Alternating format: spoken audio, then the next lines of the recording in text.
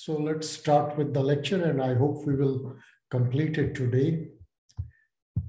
Okay.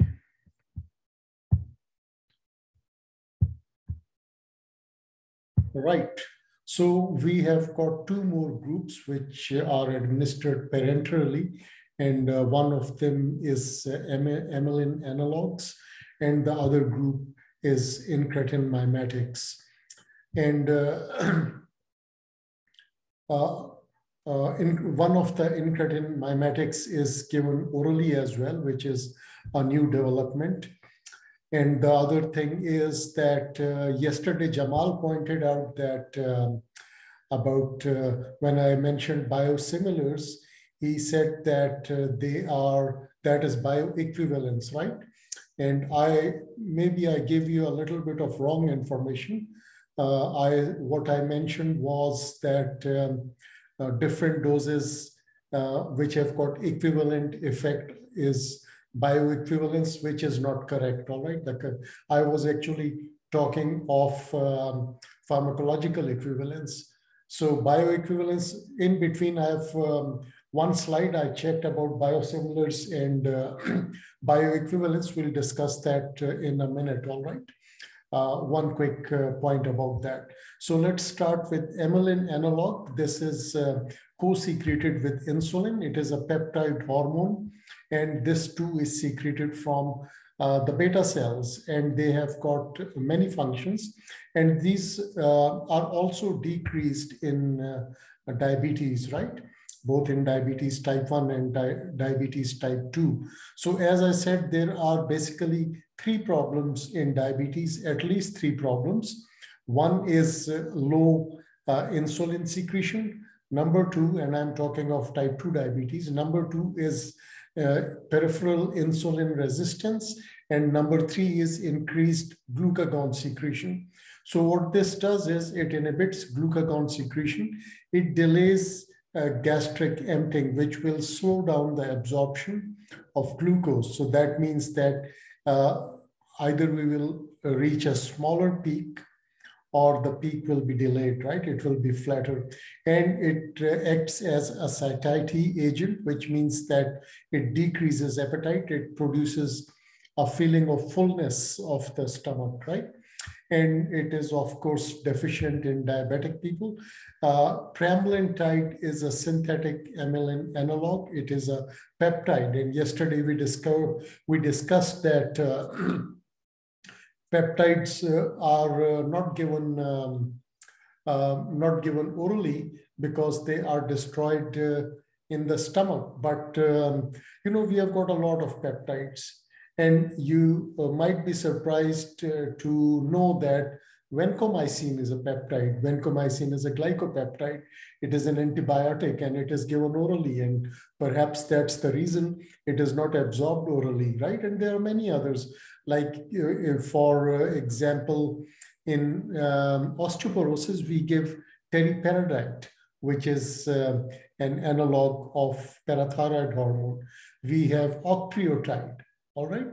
And uh, uh, what else uh, do we have? We have calcitonin.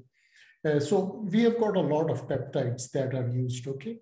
most of them are given subcutaneously. Right, so this is a peptide. Indication is adjunct to mealtime insulin therapy in patients with type 1 and type 2 diabetes. So it is uh, adjunct, it facilitates uh, or it supplements the action of insulin, but we have to be careful because there is a risk of hypoglycemia with the use of this drug, all right? And uh, this is a synthetic pramlintide that we use is a synthetic amylin analog. Administration is subcutaneous and immediately prior to meals. And this is an alert that when pramlintide is initiated, the dose of mealtime insulin should be decreased by 50% to avoid a risk of severe hypoglycemia. And of course, adverse effects are nausea, vomiting, and anorexia. Like we said, that it decreases appetite or it uh, produces satiety, right? Uh, the caution is that we should not mix it in the same syringe with insulin and we should avoid it in patients with diabetic gastro, gastroparesis, which means that the motility of the stomach has uh, reduced uh, due to uh, due due to damage to the vagal nerves nerve. Okay, uh, and it is due to diabetes that the vagal nerve is damaged, which is a part of peripheral neuropathy. Okay. And cresol hypersensitivity, one of the excipients that are used for uh, stabilizing this drug and hypoglycemic unawareness because the risk of hypoglycemia increases. So the patient, if he cannot recognize hypoglycemia, which could turn into an emergency, uh, we should be careful in such patients, okay? Then we go on to incretin mimetics. Uh, and uh, it has been observed since a long time that oral glucose results in higher secretion of insulin than intravenous glucose. And the reason is release of these incretin uh, mimetics from the GIT, okay? The incretin effect occurs because response to a meal, because in response to a meal, the gut releases the following hormone, and one of them is glucagon-like peptide 1 and the other is GIP that stands for glucose dependent insulinotropic polypeptide, right? So GIP is easier to memorize. So see, see incretin hormones are responsible for 60 to 70% of postprandial uh, insulin secretion. That is a huge effect. All right. And um, uh, injectable, uh, we have got many Exenatide is one of them. Liraglutide, which I said had uh, has good effects on the heart, especially in heart failure. But lately there have been some studies uh, which show that the effect may not be there. But the study that um, uh, that demonstrated that liraglutide has got a beneficial effect on heart failure was a very big study, and most of the people believe that. And um, um, Correspondingly, the um, use of liraglutide has increased a lot these days. Uh, dulaglutide is another one, and exenatide is a peptide isolated from saliva of Gila monster, which is over here, okay? Right, so mechanism of action of incretin mimetics, GLP-1 and GIP, they again decrease glucagon secretion uh, and they stimulate insulin release and that will lead to a better hypoglycemic control or a lower blood glucose, right? So that is the mechanism of action and it has got many effects, just like uh, uh, amylin analog pramlintide, it has got many effects. The incretin mimetics are analogs of GLP-1, which is the endogenous protein that produce the following effect uh, as GLP-1. So again, increase in um, insulin secretion, decrease in glucagon secretion, uh, decrease in appetite, which is one of the reasons for weight loss as well. So increase in insulin secretion, decrease in postprandial glucagon secretion, slow gastric emptying, which will slow down the absorption of glucose, uh, acts as a satiety agent, which means it will decrease appetite, produce a feeling of fullness and beta cell proliferation, right? Um, well, I don't know how effective this effect is, but um, that is what is mentioned in many books, okay?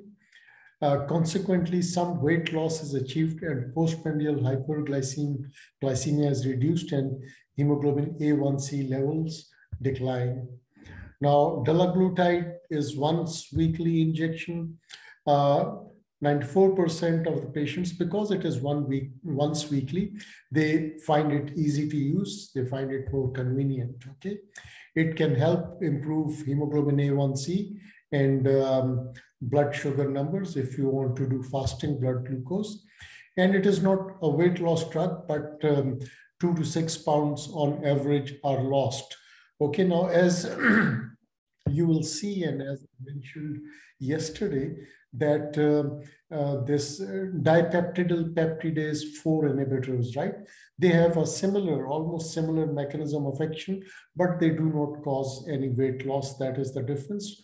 Other actions are more or less the same.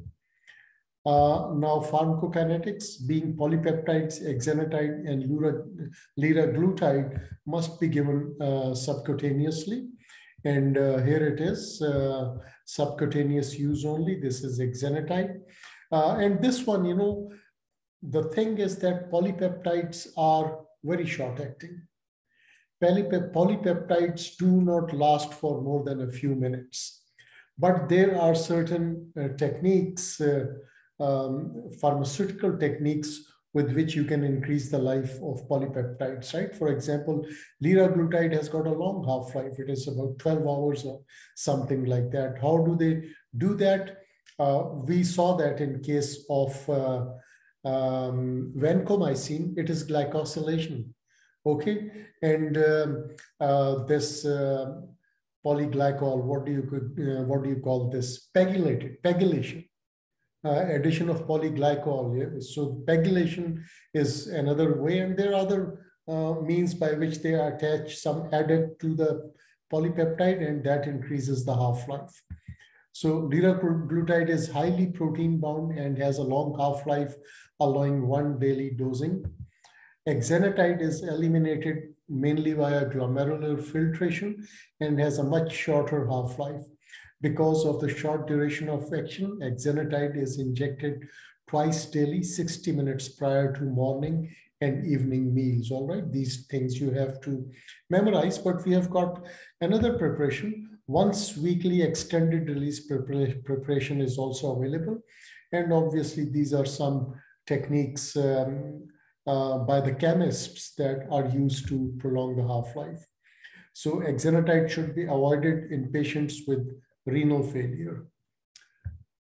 All right, so this is uh, semaglutide as I have written over here and it is given orally.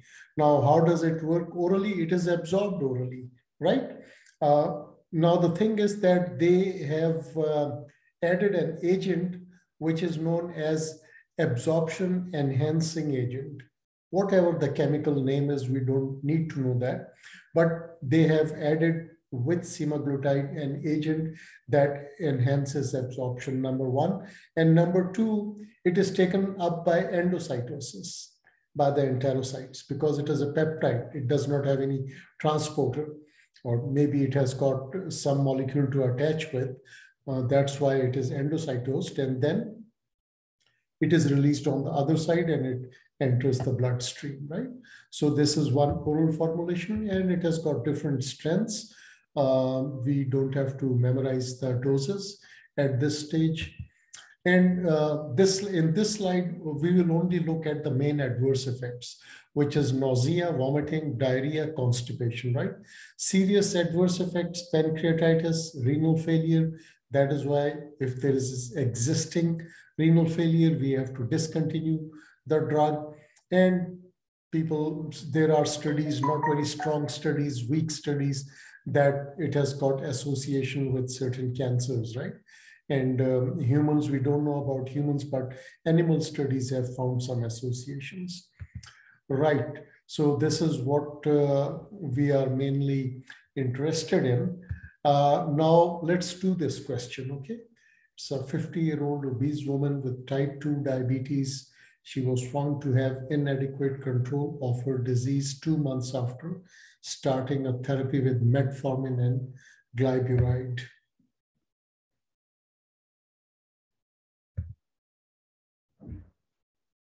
Right, so this is a good revision of the mechanisms of actions.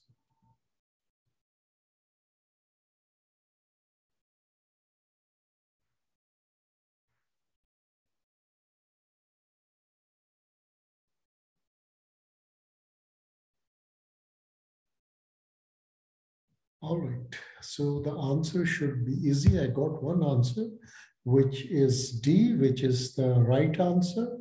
Uh, Jamal says it is D. Now, inhibition of dipeptidyl peptidase 4, they, they are different drugs, okay? Um, um, we will come to these drug inhibitors of, now inhibitor, inhibitors of alpha glucosidase, they, these are there again, acarbose and miglitol and activation of adenosine monophosphate activated protein. This is metformin. This is the correct answer for exenatide. And um, uh, this adenosine sensitive channels, this is for sulfonylureas. And I got another answer from Javaria, which is D, which is the right answer. And phosphorylation of tyrosine kinase receptor. Can anybody tell me uh, which drug has this mechanism of action? Phosphorylation of ty tyrosine kinase receptor, which means this drug has a receptor to which it binds. And that receptor has got tyrosine kinase activity. And we did that yesterday or day before yesterday, right? So this is insulin actually, right? So this is, these are the gliptins, alogliptin, saxagliptin, sitagliptin, linagliptin. These are acarbose and miglitol. This is metformin.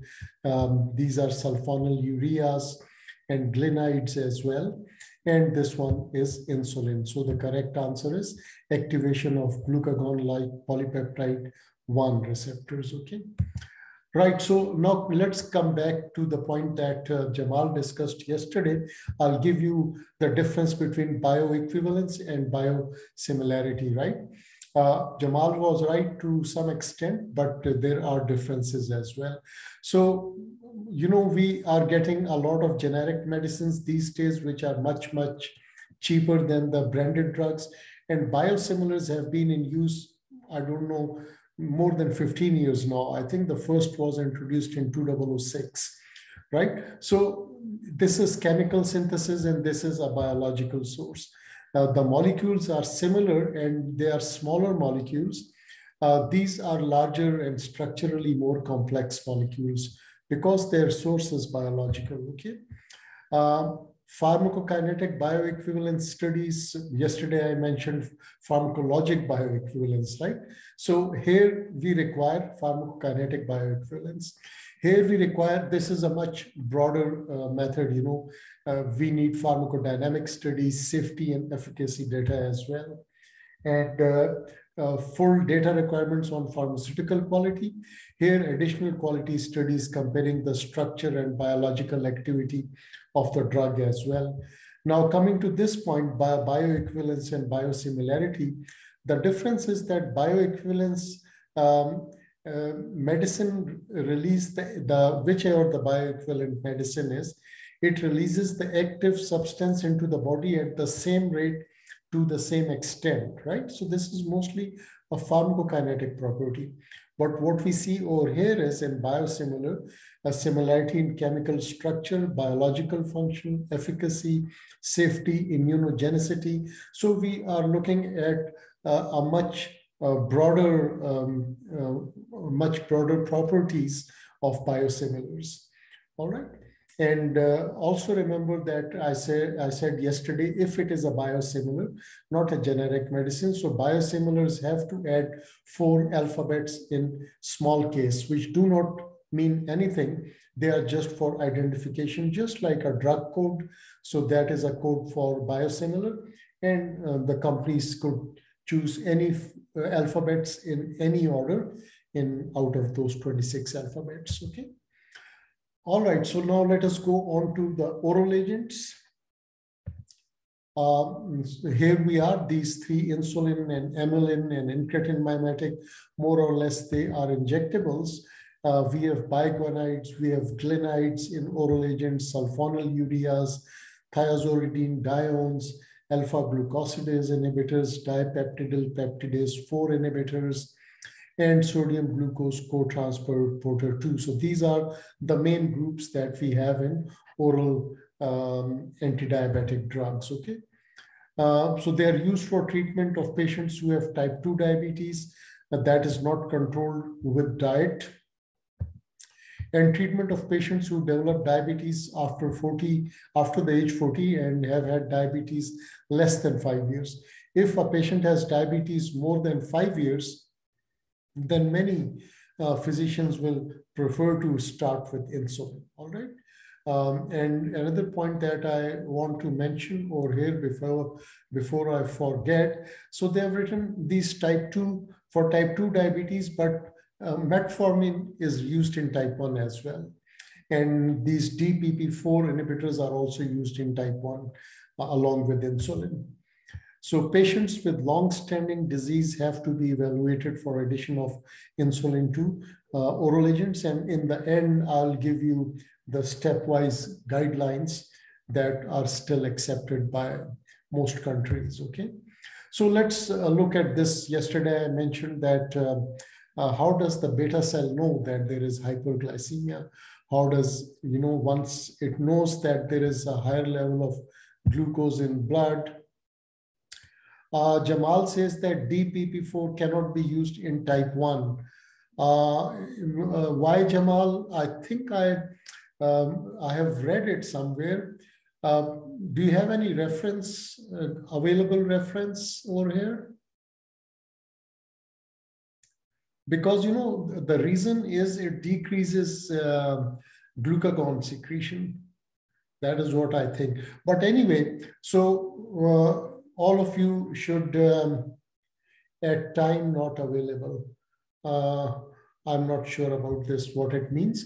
But anyway, see, we will have to further do uh, some search on this because Jamal is saying that um, it cannot be used and he has some reference. Maybe he will write it down for us.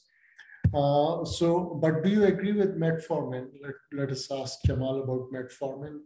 What, what's your um, source. Okay, so metformin, Jamal says that he agrees with that, but for DPP4, maybe we'll check out more references, whether it can be used for type 1 diabetes or not, okay? Uh, but I definitely saw studies in which it was written it could be used for uh, DPP, uh, this type 1 diabetes. Right, so let's come back to this beta cell. And we were trying to figure out how does the beta cell knows that there is hyperglycemia or the blood glucose levels are elevated, they have gone up. So, you know, this these are insulin vesicles, they are inside the cell, right? And there is preformed proinsulin over here. So they are packaging in proinsulin uh, molecule as well as enzymes that will cleave it. So this is a GLUT2 trans glucose transporter. GLU for glucose and T for transporter. We have got four types, or maybe there are more, but there are at least four types of glu glucose transporters. Um, so it takes up glucose. You know, it doesn't need insulin or anything. If whenever there is high glucose, this will take up glucose. And when the glucose enters, it is metabolized and it is uh, oxidized and it produces ATP, right? And this ATP is going to bind to this potassium channel, right? This is ATP sensitive potassium channel. When ATP binds to it, it will close down. Now, you know that we have got a very high concentration of potassium inside the cell. Outside the cell, it is low 3.5 to 5.5 milliequivalents per liter.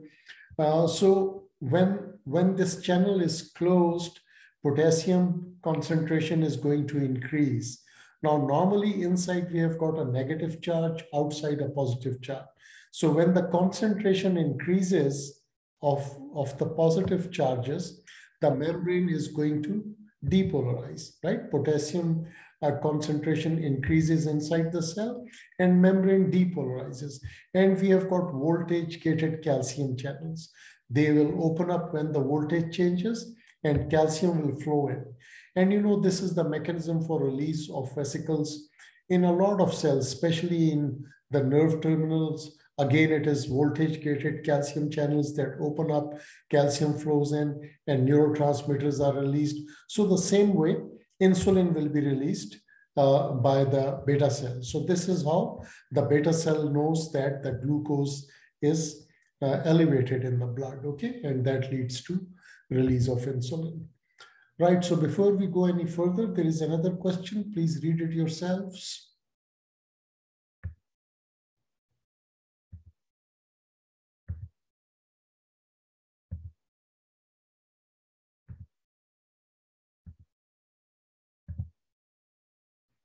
All right. You should be able to answer this question.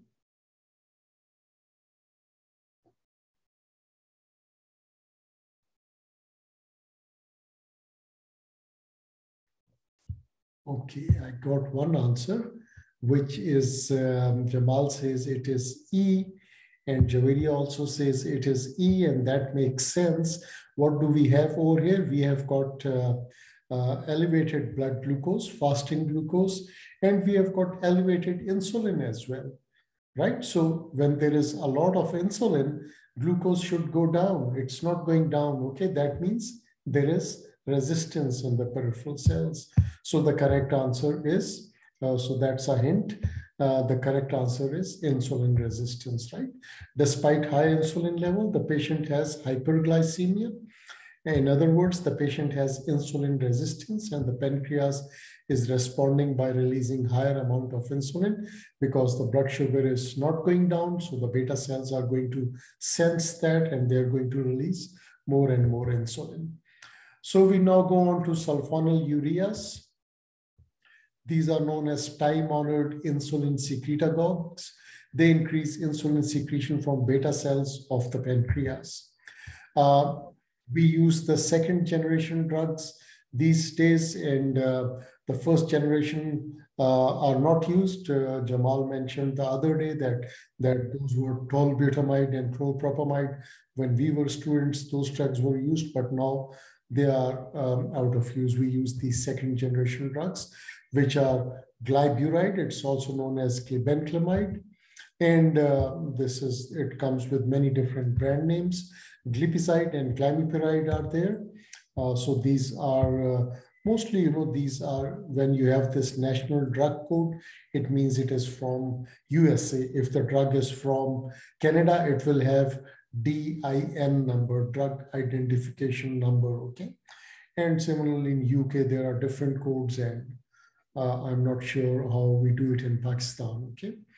Right, so mechanism of action, um, increase insulin release from beta cells by closing ATP sensitive potassium channels that we saw over here. When they close down, potassium concentration increases, the membrane is depolarized, right? And the voltage gated calcium channels open up. So this is the mechanism of action. It closes ATP sensitive potassium channels and that will lead to calcium influx and insulin exocytosis. Uh, it reduces hepatic glucose metabolism, but that this is the main effect, uh, main biological action, okay? It increases peripheral insulin sensitivity.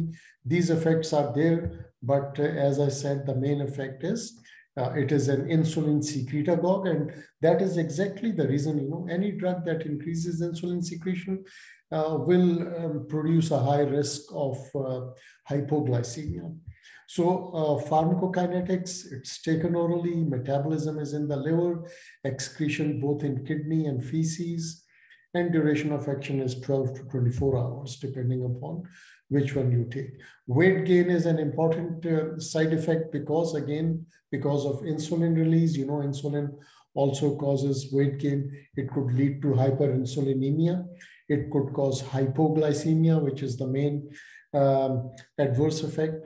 Drug interactions are there and risk of hypoglycemia higher in hepatic and renal insufficiency. All right. Uh, so that mm, was it. And, you know, um, we have got certain oral agents which are known as, um, uh, I mean, they are well established and well recognized agents, all right? And this these uh, sulfonylureas, as I said, they are known as time-honored insulin secretagogues.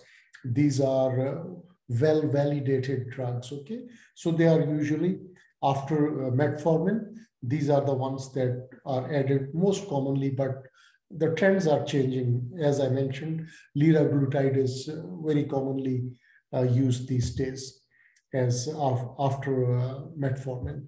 So glyburide minimally crosses placenta. It is alternative to insulin in pregnancy.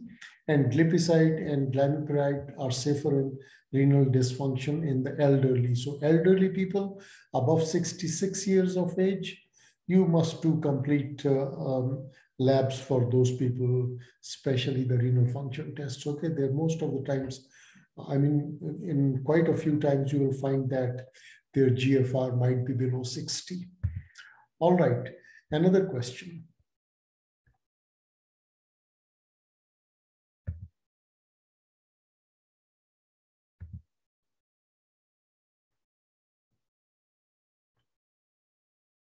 Okay.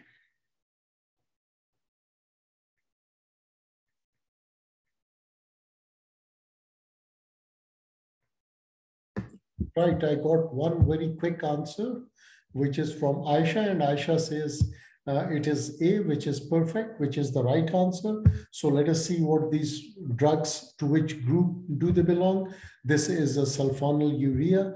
this is biguanide, this is a glinide, alpha-glucosidase inhibitor, and thiazolidinediones, right? So he's allergic to sulfa uh, methoxazole, and these are sulfonyl ureas, which means they contain uh, a sulfur group, okay? So Uh, sulfur allergy, these drugs are contraindicated. Right, now we go on to glinides. Again, glinides are also insulin secretagogues. So immediately one of the side effects that should come to your mind is hypoglycemia. Okay, maybe a little bit of weight gain as well because of effect.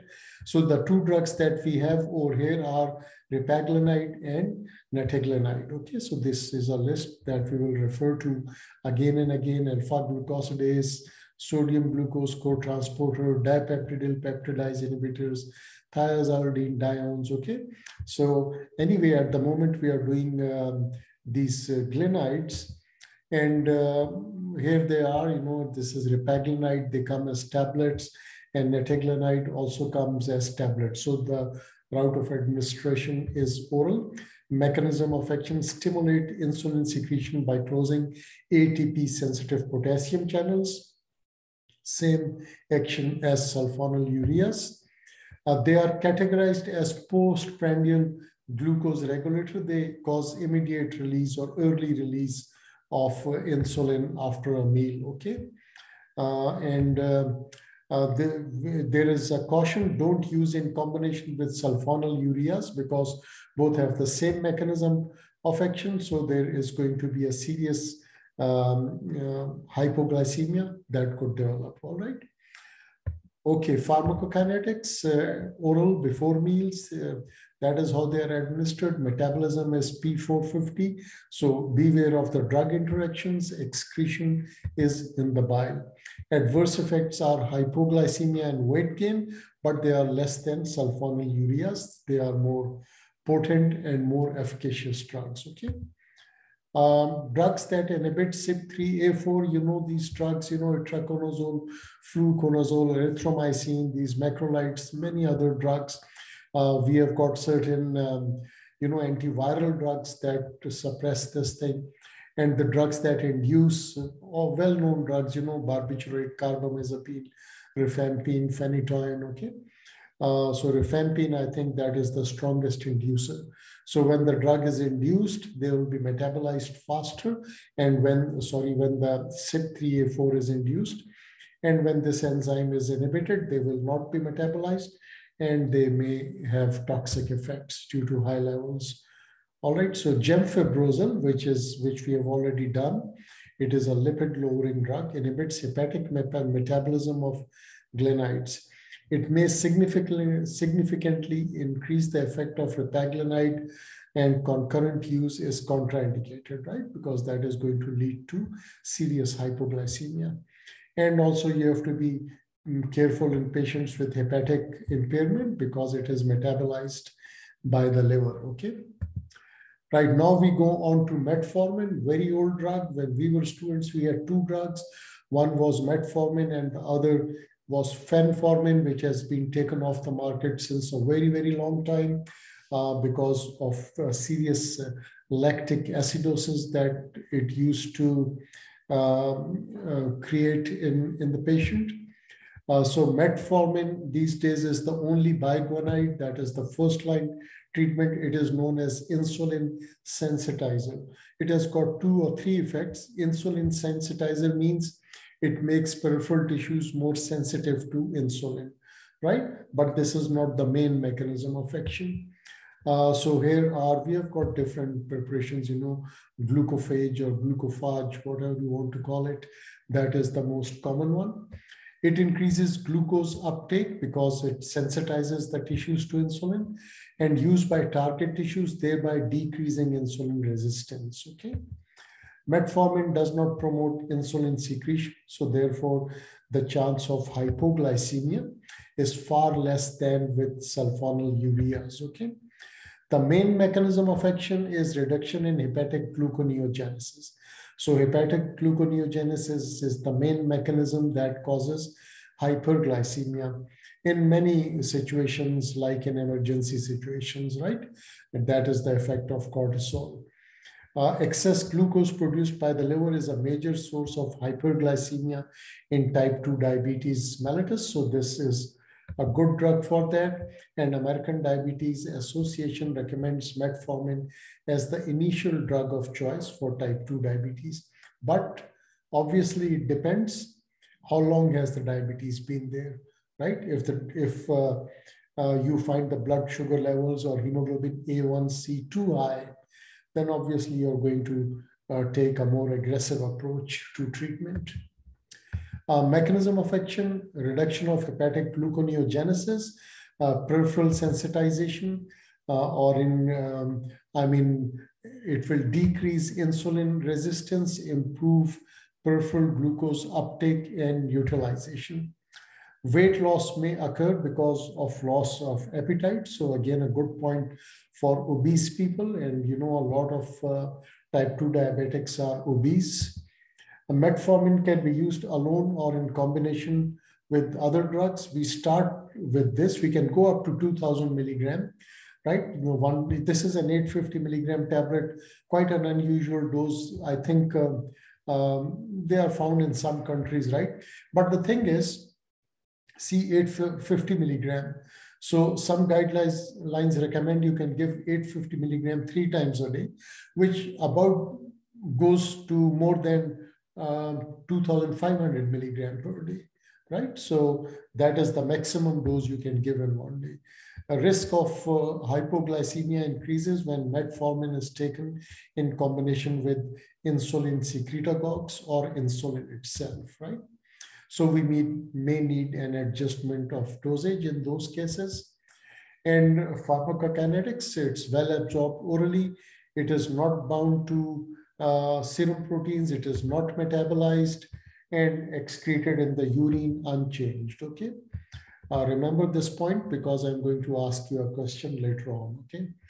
Right, there is one comment which is, uh, uh, this Muhammad Jamal has raised a good point. He says 2,500 milligram dose can cause lactic acidosis, and there is a question mark. Wait a little, we'll, we'll look at that, okay? Uh, we will look at the risk of uh, lactic acidosis. Right, uh, adverse effects are mainly gastrointestinal. Long-term use may interfere with vitamin B12 absorption. So maybe you want to give vitamin B12 to the patient. Supplements and caution in patients older than 80 years, mostly because of reduced renal function. And if the renal function is reduced, the risk of lactic acidosis is going to increase. Heart failure, again, same reason, heart failure, low renal perfusion, greater risk of lactic acidosis. Alcohol abuse, uh, it must be discontinued in patients requiring IV contrast media. Other uses polycystic ovarian syndrome. You know that in this syndrome, there is excess production of androgens, and that causes loss of uh, ovulation, which are known as anovulatory cycles. So we um, we have got other drugs uh, for that. Uh, uh, anybody remembers the drugs? Clomiphene. Clomiphene is one. Uh, letrozole. Letrozole is also used for uh, polycystic ovarian syndrome, but uh, metformin uh, works by um, um, lowering insulin resistance that will cause ovulation, okay? And it could lead to pregnancy. So on the other hand, if a woman uh, does not want to get pregnant, pregnant and she is on uh, uh, on metformin, she has to use uh, contraceptive methods, all right? So risk of lactic acidosis and renal failure, one situation.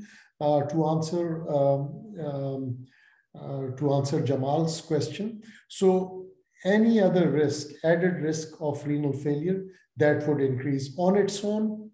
Uh, it is it is used so commonly, and as I said that In many countries, 2,500 is the upper limit of the dose, and it is used in many people before going to another drug or before adding another, another drug. So the risk of lactic acidosis will increase if there is any other condition that um, can potentially produce acidosis, okay? And you know that renal failure is one of those conditions. Discontinue in conditions that can cause renal failure, such as myocardial infarction, acute decompensated heart failure, sepsis, you know, and all of these drugs, renal perfusion is reduced, you know, and uh, bicarbonate will not be absorbed, you, renal tubular acidosis, or you can get acidosis due to increased carbon dioxide in the blood, okay? So uh, in these conditions, we do not use it. So glucophage, 1000 milligram, uh, the common preparations are 500 milligram, all right? And let's look at this question.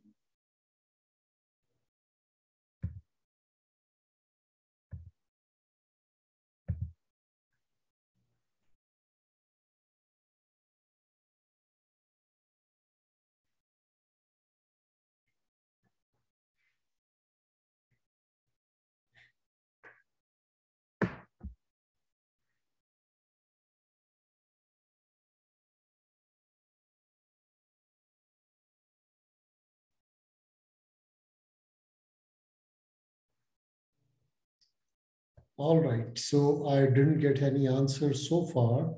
Uh, what condition could chronic obstructive pulmonary disease lead to, right?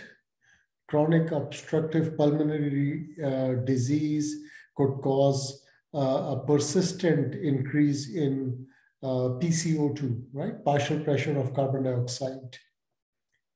Okay, so that means respiratory acidosis.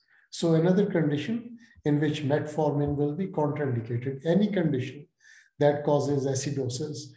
In, in case of uh, in case of renal disease, it is metabolic acidosis. In chronic obstructive pulmonary disease, it is respiratory acidosis. All right. And by the way, uh, I hope you remember that the, the, the cells in the, or, and the chemoreceptors in the carotid bifurcation and the cells in the respiratory center, they are sensitive to raised carbon dioxide levels.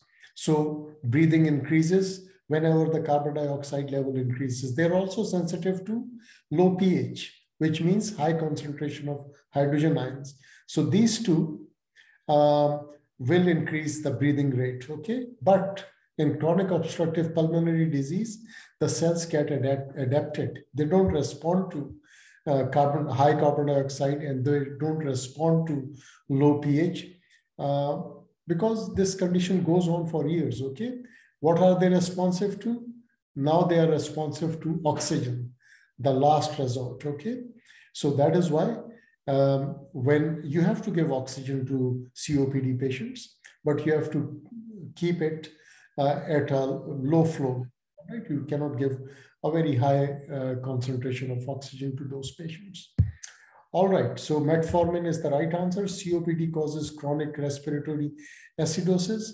Captopril blocks aldosterone. Low levels of aldosterone can cause metabolic acidosis, uh, and um, high levels can cause uh, alkalosis. Metformin can cause lactic acidosis, albeit rarely, but it is contraindicated in conditions predisposing to acidosis, okay? Right. So which of the following anti-diabetic drugs should not be given in chronic kidney disease?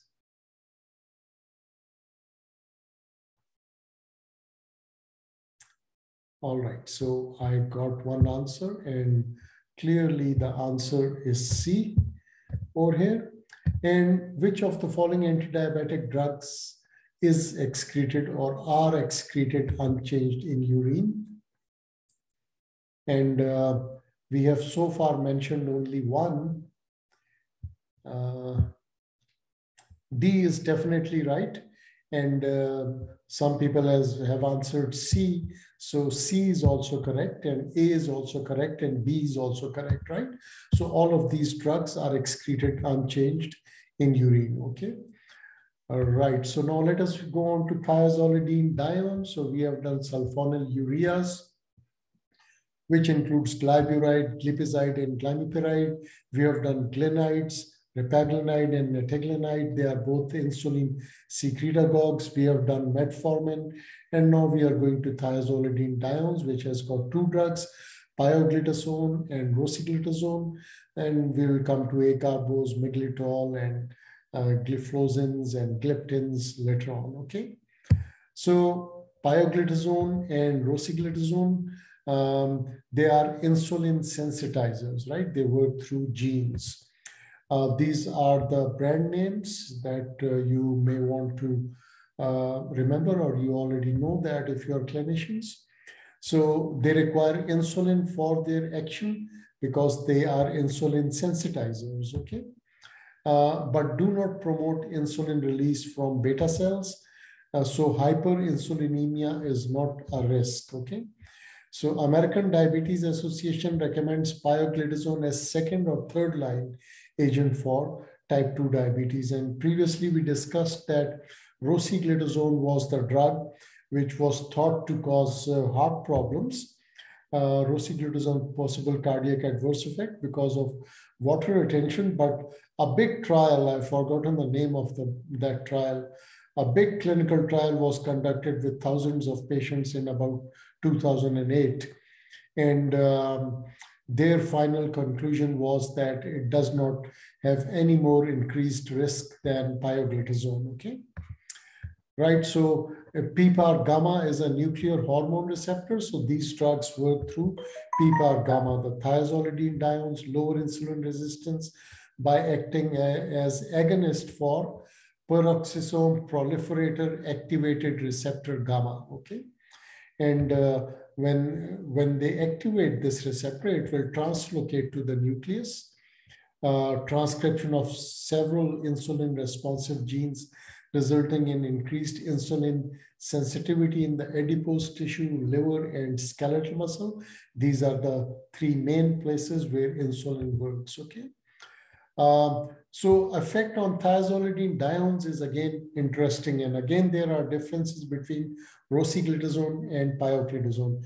The good effect of both these drugs is that they both increase a high density uh, um, LDL, you know, sorry, HDL, high density lipoprotein cholesterol. Uh, but effect on triglycerides and LDL is different. Rosiglitazone increases LDL cholesterol and triglycerides. Obviously, in the long run, LDL is not good for heart, okay? Pioglitazone decreases triglycerides, so it has got two good effects. So that is why most of the physicians, they prefer pioglitazone over rosiglitazone, okay? So two good effects, decreases triglycerides and increases HDL and this has got two bad effects and one good effect, okay? The thiazolidine thiazolidinediones can be used as monotherapy or in combination. Uh, I am not sure that if it is used in uh, as monotherapy uh, because it is not even a validated drug. Okay, well, it is not a well-validated drug. And like you saw in the previous uh, uh, previous slide that the American Diabetic Association recommends it as a second or third line drug, okay? The dose of insulin may have to be lowered when used in combination with these agents because it increases insulin sensitivity. So the risk of hypoglycemia might increase, okay? And we are talking of type 2 diabetes right? So these are the pharmacokinetics. Absorption is very good from GIT. Albumin binding is extensive. Al extensive albumin binding also has got a bad effect. Any drug that displaces it from uh, albumin binding site will cause drug toxicity, okay? Uh, metabolism, CYP450, another reason for drug interactions. And metabolite pioglitazone has active metabolites and rosiglitazone has none. Uh, elimination pioglitazone liver and rosiglitazone renal, but remember that it is safe to use in uh, uh, in uh, renal insufficiency. Okay, many studies have shown that it is safe to use in renal insufficiency. So that is why in renal uh, dysfunction, no dosage adjustment is required for any of these. Okay, And nursing mothers, you have to be careful with every drug. Right, so monitor liver function. A few cases of liver toxicity have been uh, reported. Um, and uh, unload fast. You know, they worsen heart failure, they can cause fluid retention and subcutaneous fat accumulation. These are not very good effects and uh, they can cause decreased bone mass density and osteopenia. Uh, osteopenia does not lead to fractures, but osteoporosis does, okay? Can anybody tell me what is osteopenia? In terms of T-score, you know, we calculate a T-score there is a special X-ray for uh, postmenopausal women, you know, who have got a high risk of developing osteoporosis. And that uh, stands for DEXA, DEXA stand, uh, dual energy X-ray absorptiometry, okay? So we calculate a T-score over there. And uh, T-score means that we are comparing the bone mass density with the bone average bone mass density of young people right? If the patient is 56 years old, his or her bone mass density will be compared to the average bone mass density of young adults, okay, of the same sex. Um, so it always goes in negatives. So up, up to minus one is normal, zero to minus one is normal, minus one to minus 2.4 is osteopenia. Okay, after that, minus 2.5 onward is osteoporosis. And as it becomes more negative, the risk of fracture increases more and more, okay? So pioglitazone, increased risk of bladder cancer. Uh, well, that is what they have found in many studies. The reason obviously is not known. So let's look at this question.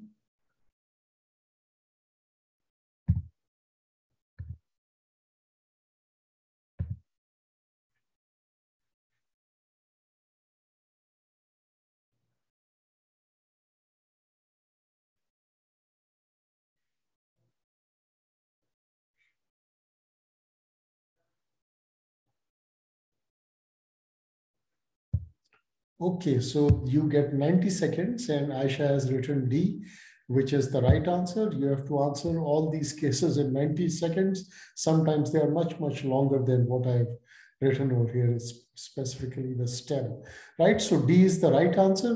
Slowing glucose absorption is uh, uh, alpha glucosidase inhibitors and blockade of potassium channels. These are uh, sulfonylureas and uh, glinides activation of adenosine monophosphate activated protein kinase. Uh, this is metformin, and this, of course, is the correct answer over here. Now we go on to alpha glucosidase inhibitors, which are over here. We have got two drugs, acarbose, which is not absorbed in the GIT, and we have got miglitol, okay?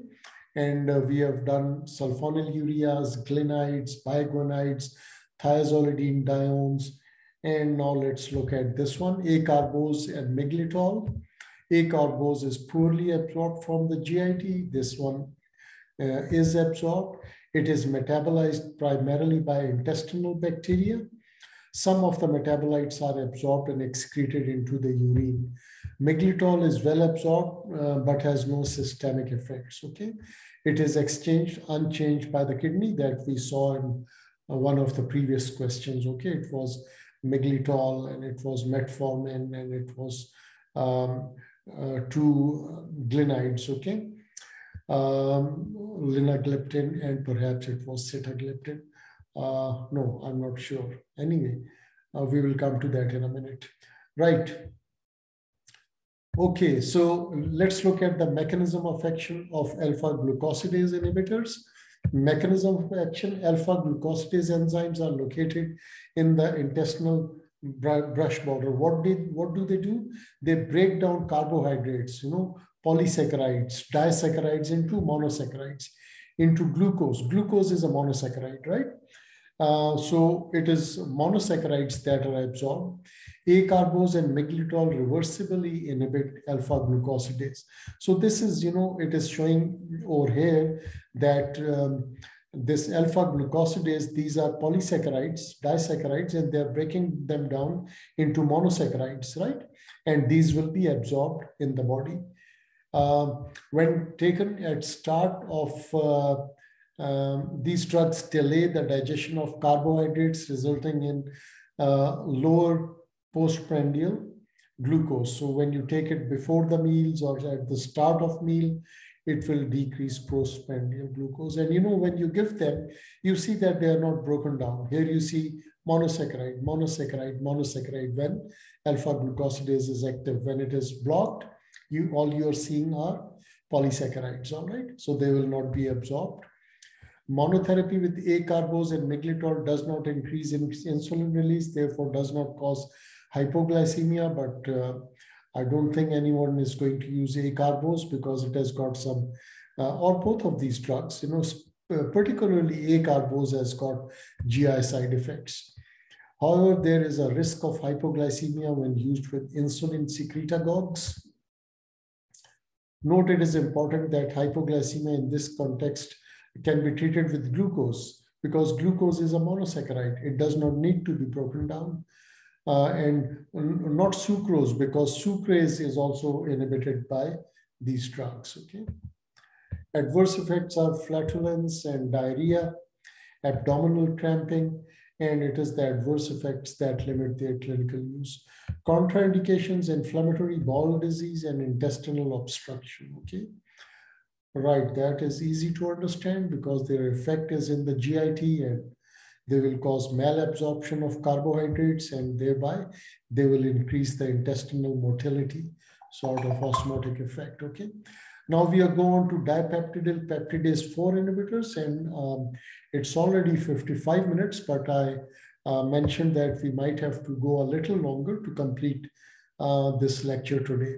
So let's go on to these alogliptin, saxagliptin, linagliptin, sitagliptin. Perhaps there are a couple of others as well.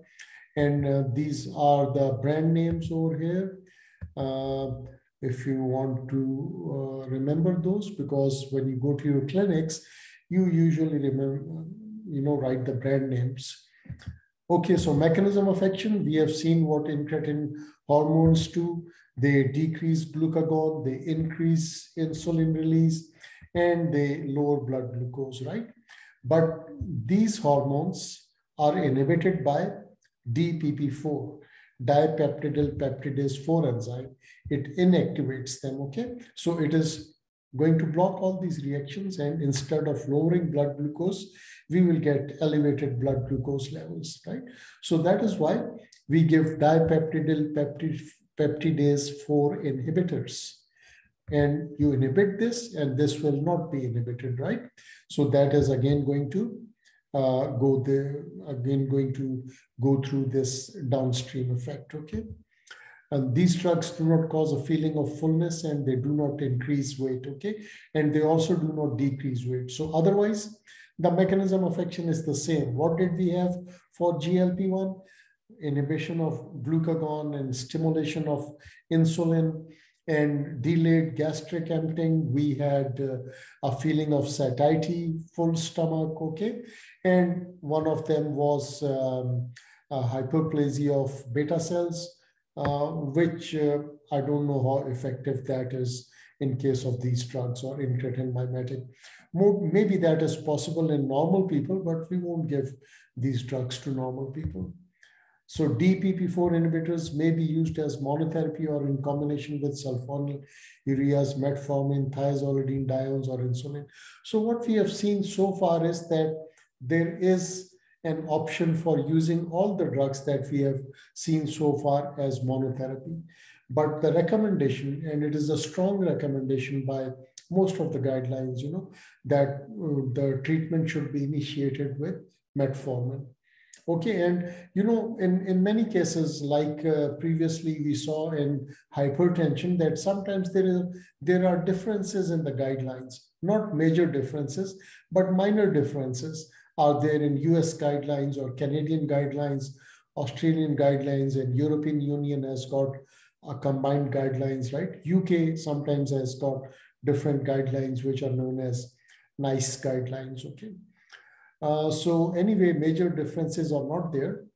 Uh, and it is obviously the physician's preference uh, what type of therapy he starts, okay?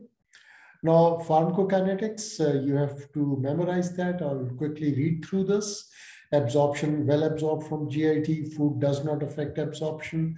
Excretion, alogliptin, linagliptin, sex, uh, saxagliptin is renal.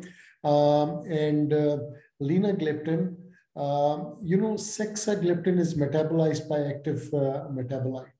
Okay. Uh, so the thing is that dose adjustment in renal dysfunction function except linagliptin. Okay, so I was right. Um, these uh, linagliptin, saxagliptin, alogliptin, these are all uh, excreted unchanged in the urine. Okay.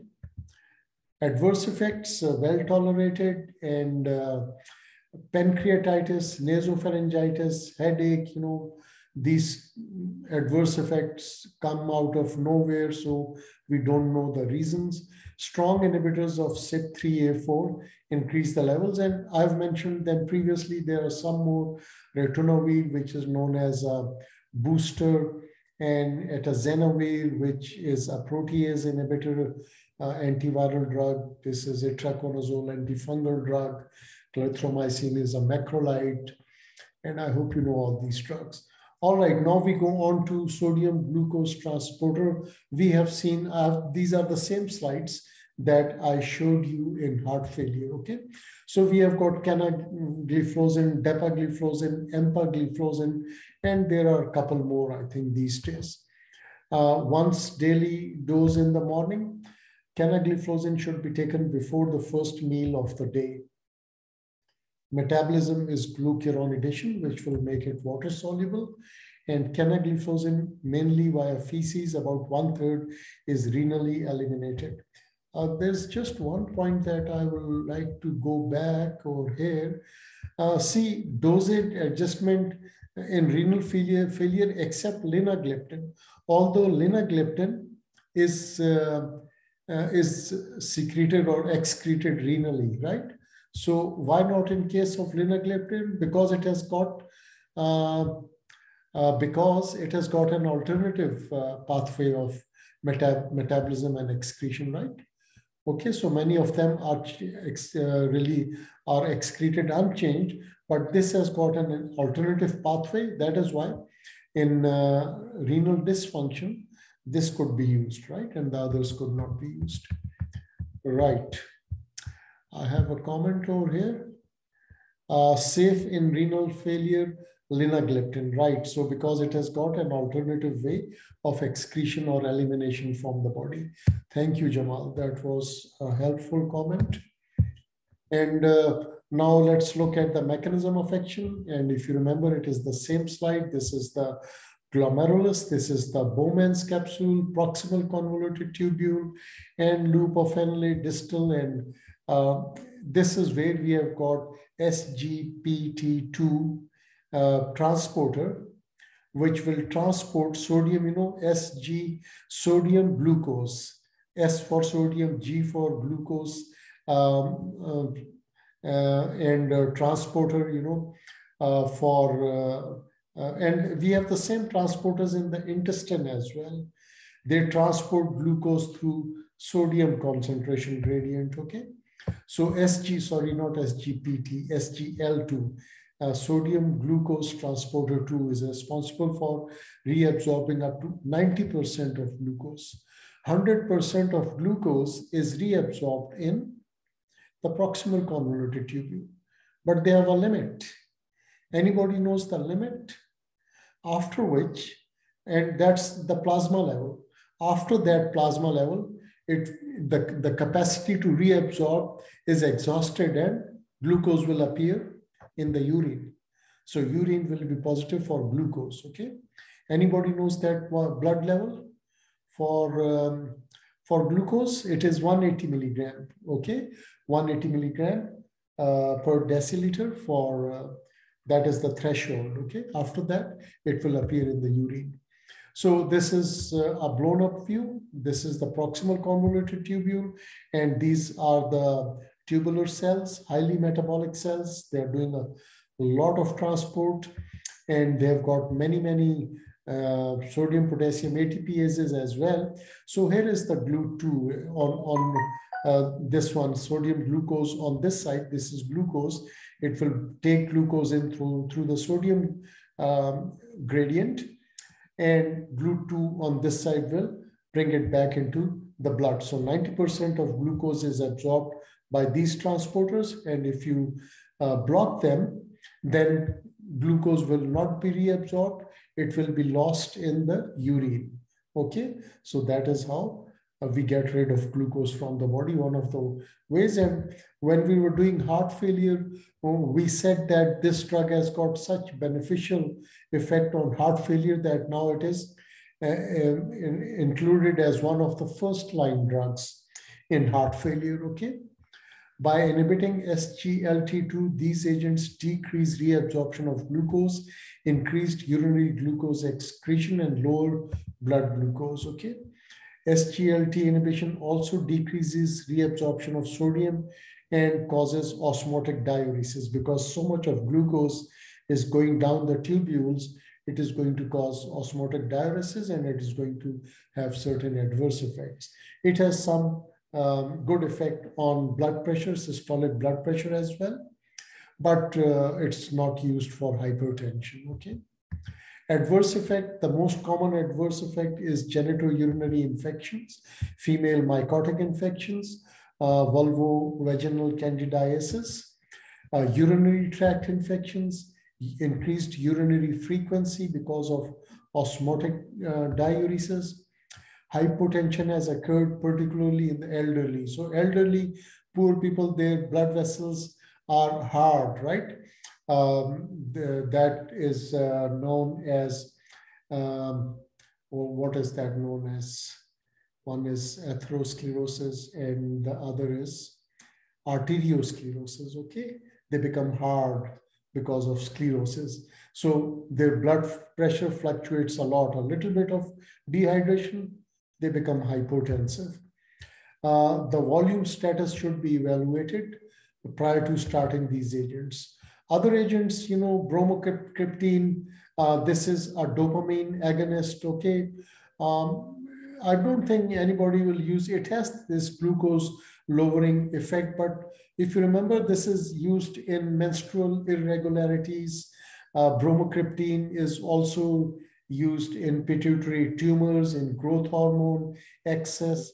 It is also used in Parkinson's disease, if you remember. Colesevelam is a bile acid sequestrant. So the mechanism is again unknown over here. There are some safety concerns which have been published. Um, drugs increased risk of leg and foot amputations, but I don't think that is going to stop anyone from prescribing these drugs from, they are so rare, okay, uh, from uh, prescribing these drugs for uh, diabetes or for heart failure or heart conditions, okay. Type In type 2 diabetes, adding semaglutide improves glycemic control, semaglutide 2 SGLT2 inhibitors. Uh, so this was an industry supported trials. Most of the trials, you know, the companies pay for that. They have the money, okay? So 300 people were there. So the bottom line is that this is a good combination. Right. So it was uh, a randomized controlled trial and the results were good. Canagliflozin cuts renal CV risk in type 2. So this is again a good effect, protective for the heart and protective for uh, the kidneys as well, okay? And diabetes class 2 associated with Fournier gangrene. Fournier gangrene is uh, a gangrene of the perineal areas in, in men, maybe scrotum as well. I think it's written somewhere over here uh, inhibitors are associated with increased risk of Fournier gangrene.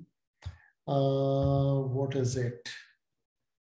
For, reported in 70% of in six year, some 55 cases, okay, 55 cases were there and it was reported in 70% of men, okay?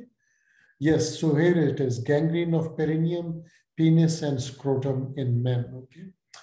So that is one of the side effects. And I think that is all for today. Let's do this question. And I think that should be all.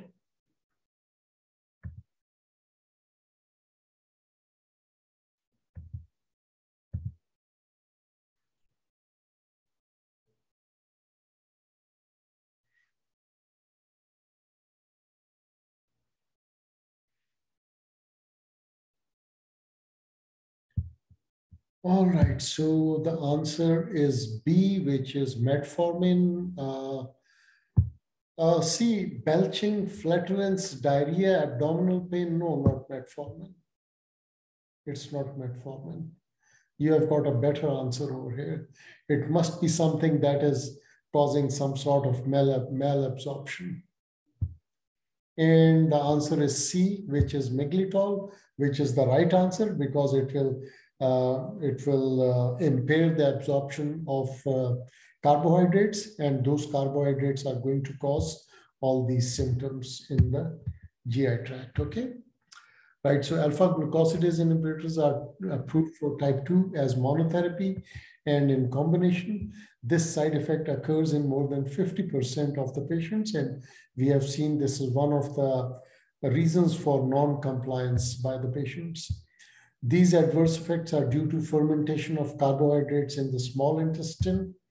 They have a modest effect on postprandial blood glucose and they are taken before meals, all right? And here are the guidelines, okay? So uh, this is what um, the guidelines recommend. Step one is lifestyle modification plus metformin, okay? Depending upon the blood glucose, fasting blood glucose levels that you do two or three times or hemoglobin A1C, if it's above 7%, then you have to initiate the therapy.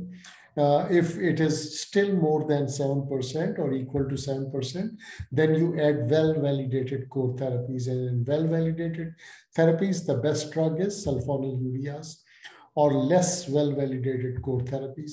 So here it is lifestyle metformin plus sulfonylureas or lifestyle metformin, you start with basal insulin, that is one of the option, although it is the next step, but it depends upon you. and these drugs are GLP-1 agonists and uh, uh, metformin, pioglitazone, you can see, oh, see over there. And again, you add to them sulfonylureas. These are just guidelines, you know. How you treat, which drug you add is up to you. And eventually, you know, uh, the step three is that we start metformin plus intensive insulin therapy. And these guidelines are obviously for type 2 diabetes mellitus. And this is just a summary of all these drugs, just for a quick revision. I'll not read them, but uh, I can give you uh, the slides and these are available in all the pharmacology books, okay? And that is all, that is the end. So any question, any comments, anything you want to say? All right. So I guess there is no comment. So we will stop here. And uh, the next topic, we have to decide that what we are going to do.